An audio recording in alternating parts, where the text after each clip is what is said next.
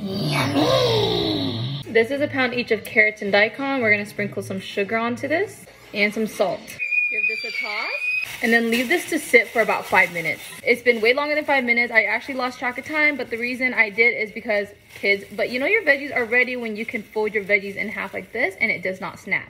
Now we're gonna rinse and drain this thoroughly under cold water. I rinse and wash this thoroughly under cold water. We know that because it's wet. But anyways, I'm gonna tightly pack my jar with my veggies. And now we're gonna fill our jar up with this mixture. I'll have the recipe for this listed down below. You can enjoy this as soon as immediately, or you can refrigerate and enjoy this tomorrow.